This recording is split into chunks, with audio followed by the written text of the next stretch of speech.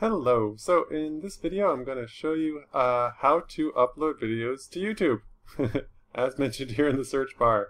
Um, so let's see, first I'll just click on create and then upload video.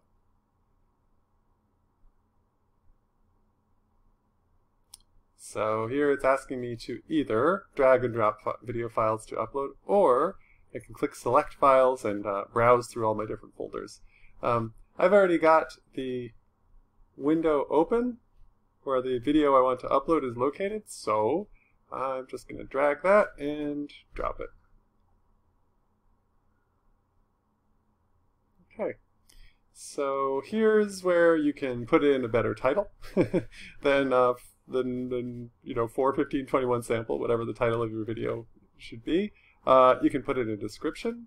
Um, choose what the uh, thumbnail is when people see uh, the video before they click on it.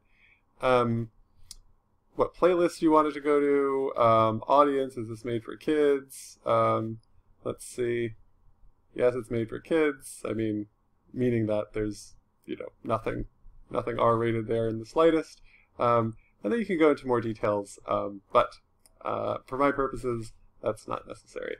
Um, so I'm just going to click next and skip through this as well, and skip through this as well. Okay, so um, as we discussed yesterday, private might sound appealing because, um, you know, you just want your video to go out to your students, not to the whole world. Um, in my somewhat limited experience with it, but I have tried it a couple times, um, I, you know, some of the people I privately shared it with were able to access the video and some people were not, so I prefer to go with unlisted or public.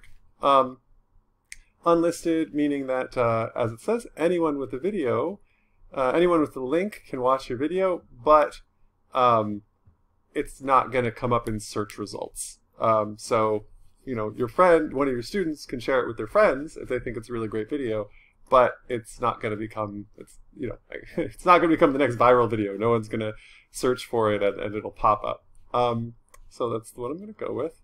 Um, that's it, and click Save.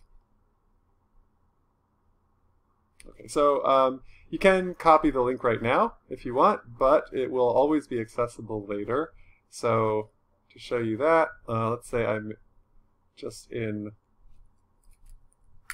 go, you know, I want to find the videos I've created. Um, so I'll go to YouTube and click on this little three line hamburger menu.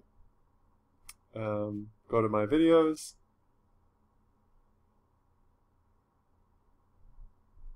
And here they all are, including the one I just uploaded, uh, 41521 sample. So um, if I want to get the link from this, I can click here and get shareable link. It says down at the bottom, it's copied to the clipboard.